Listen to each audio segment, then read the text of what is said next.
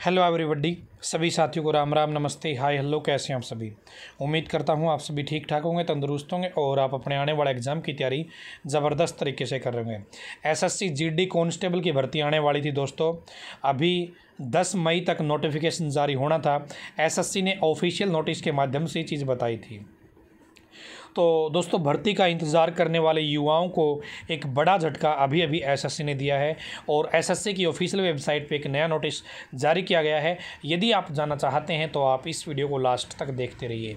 और दोस्तों, यदि आपने अभी तक नॉलेज टी वी देसी था यूट्यूब चैनल को सब्सक्राइब नहीं किया है तो सब्सक्राइब कर लीजिए, क्योंकि यहाँ पर हर रोज़ सही समय पर सही इन्फॉर्मेशन आप तक पहुँचाई जाती है। वीडियो को लाइक नहीं किया है तो लाइक कर दीजिए, क्योंकि आपका एक लाइक मुझे नेक्स्ट इन्फॉर्मेशन आप तक पहुँचाने के लिए प्रेरित करता है। तो दोस्तों, फटाफट से देख लेते हैं एसएससी जिड्डी कांस्टेबल भर्ती के बारे में क्या अपडेट आप सभी के लिए आई है। दोस्तों, जैसा कि आपको पता है कि पहले एसएससी जीडी का नोटिफिकेशन आपका 25 मार्च को रिलीज़ होना था, जिसमें लगभग चालीस हज़ार पदों पर भर्तियाँ होने की बात कही गई थी और दसवीं बेस युवाओं के लिए भर्ती थी और ये एक बड़ी भर्ती थी जिसका इंतज़ार लाखों युवा कर रहे थे। दोस्तों, कोरोना की वजह से सिचुएशन ख़राब होती गई और फिर एसएससी ने फैसला लिया और उसके कुछ रीजन थे बैकेंड के, जिसकी वजह से उस भर्ती को 25 मार्च को रिलीज़ नहीं किया गया और बताया गया कि भर्ती का नोटिफिकेशन मई के पहले सप्ताह में रिलीज़ किया जाएगा। तो दोस्तों, यहाँ पर अब इंतज़ार कर रहे थे कि अब नोटिफिकेशन आएगा, अब नोटिफिकेशन आएगा और हम अपने फॉर्म भर पाएँगे। लेकिन दोस्तों, आज अभी एक नया नोटिफिकेशन आ गया है जिसमें क्या बताया गया है देखिएगा। उससे पहले दोस्तों आप यहाँ पे देखिएगा, अभी सी एच एस एल दो हज़ार बीस का टायर वन का एग्ज़ाम होना था इक्कीस पाँच से लेकर बाईस, इक्कीस पाँच और बाईस पाँच को तो उसको भी यहाँ पे पोस्टपोन कर दिया गया है। ठीक है?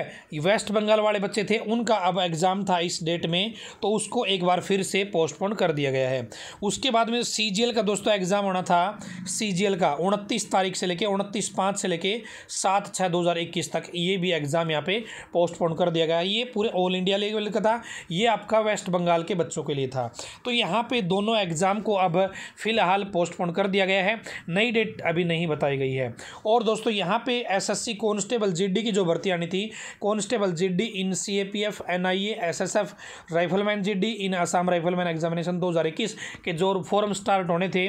फ़र्स्ट वीक ऑफ़ मई 2021 में उसे भी फ़िलहाल के लिए पोस्टपोन कर दिया गया है। दोस्तों, यहाँ पे नई डेट आपको बाद में बताई जाएगी।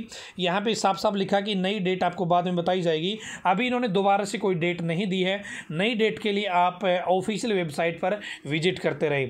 और दोस्तों, ये अपडेट यदि आप देखना चाहते हैं और आगे की हर प्रकार की अपडेट देखना चाहते हैं तो आप हमारे टेलीग्राम ग्रुप को ज्वाइन कर सकते हैं। मैंने टेलीग्राम ग्रुप पर इस पीडीएफ को भी शेयर कर दिया, इस नोटिफिकेशन को भी शेयर कर दिया है। और दोस्तों अपनी वेबसाइट का लिंक है, वीडियो के डिस्क्रिप्शन में, वहाँ भी शेयर कर दिया है तो आप एक बार चेकआउट कर सकते हैं आपके लिए, वहाँ पे सही समय पर सही अपडेट आपको प्रोवाइड की जाती है। और एस एस की भर्ती के बारे में और अन्य अधिक जानकारी आप लेना चाहते हैं कि किस क्वालिफिकेशन में क्या सिलेबस रहता है, क्या एज क्राइटेरिया रहता है फ़ीस कितनी लगती है, सारी चीज़ें मैंने वीडियो के डिस्क्रिप्शन में लिंक दे रखा है, अपनी वेबसाइट का, वहाँ पर आप चेकआउट कर सकते हैं। आज की वीडियो में इतना ही, दोस्तों, धन्यवाद। भगवान के आप सभी का समय शुभ रहे।